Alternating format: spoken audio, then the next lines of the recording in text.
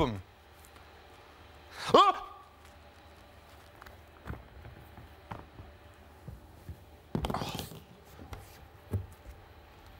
Oh, a duck.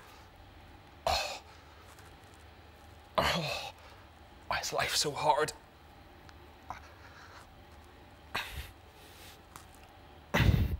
Oh, because you're a fat. Ah, bloody hell.